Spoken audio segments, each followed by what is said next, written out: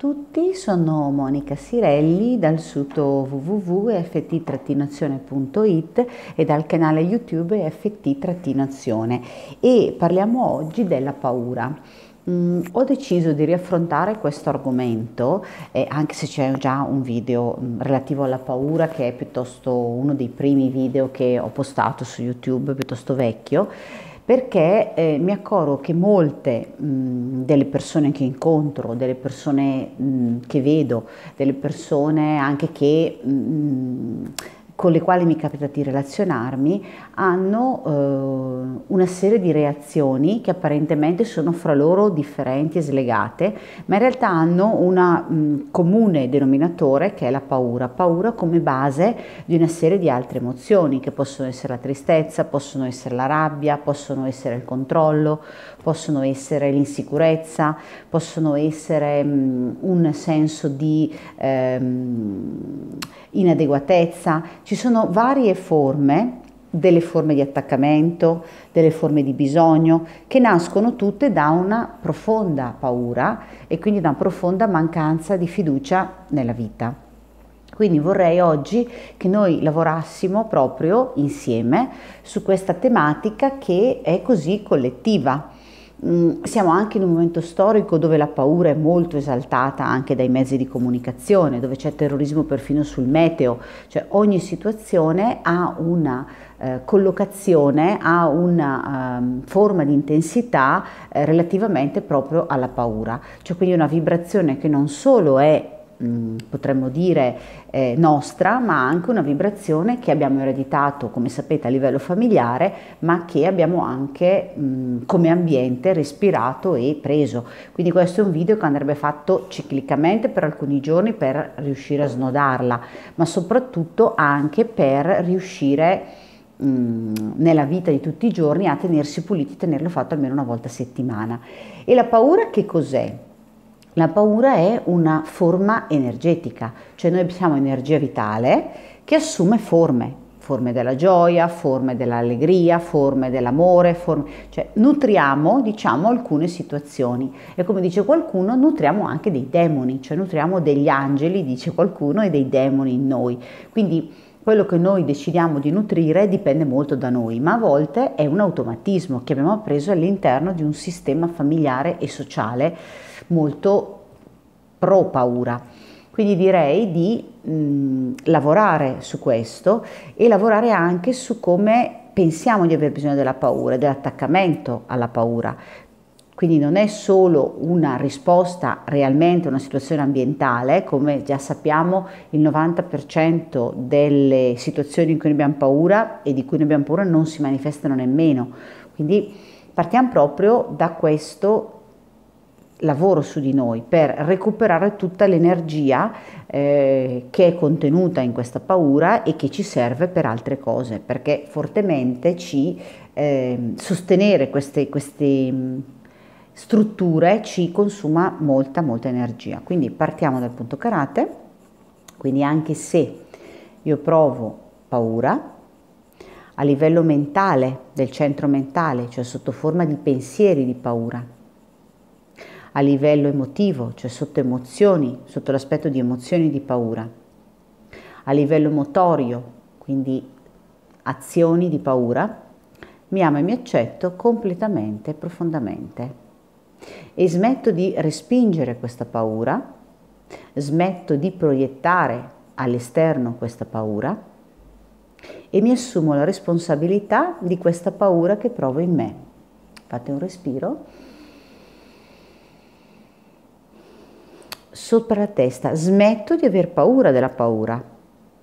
E quando sento la paura, anziché mandarla via, anziché rifiutarla, la ascolto, cioè la osservo e mi disidentifico. Quindi centro dell'occhio, io sono e da questo stato in cui sono, quando arriva la paura, mi disidentifico. Azione 1. Respiro. Lato dell'occhio, sento la paura nel corpo senza nutrirla. Quindi, disidentificandomi, la osservo e smetto di nutrirla. Azione 1. Sotto l'occhio. Azione 2. La osservo. E osservandola recupero tutta la mia energia vitale rimasta congelata sotto forma di paura e la riconduco al giusto posto in me. Fate un respiro.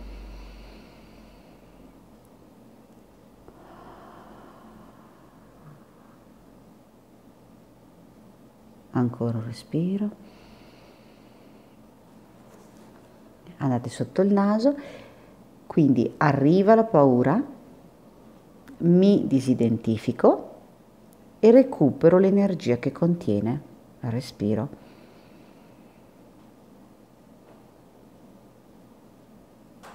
sotto la bocca. Azione 3. Allontano tutta l'energia non mia legata a questa paura che non mi appartiene. Tutte queste percezioni che creano paura che non mi appartengono.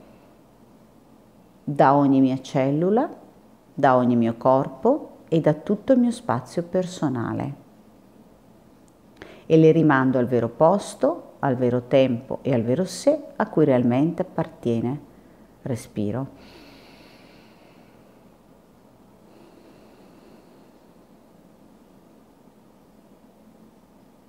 Clavicola e osservo cosa rimane in me.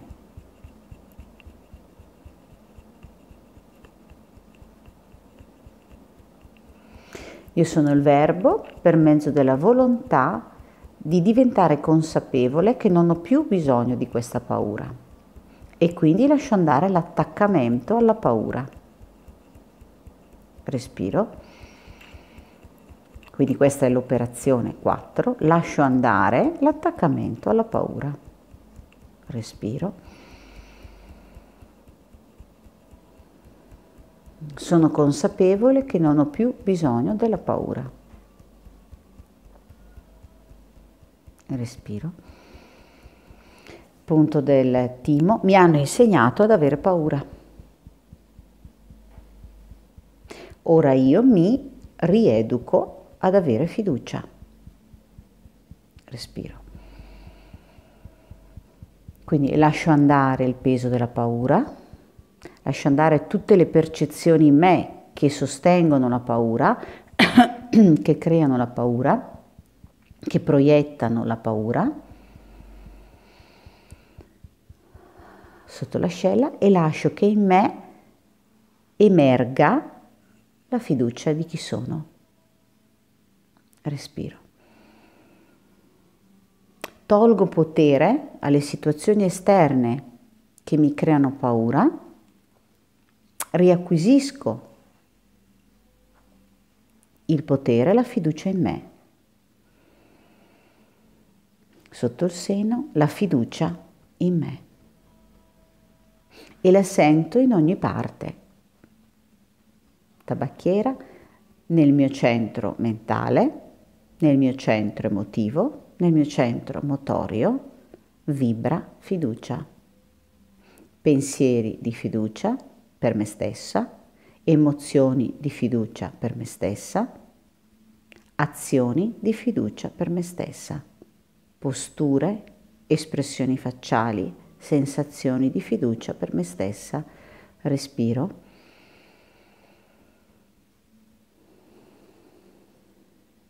E ascoltate cosa accade in voi.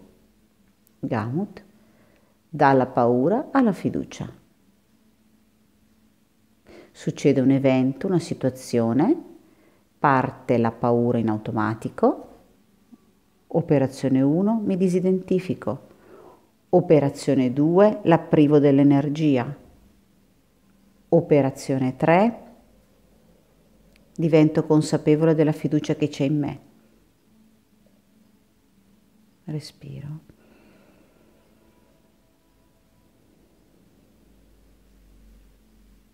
punta delle dita, adatto tutti i miei sistemi ai cambiamenti appena avvenuti. Respiro.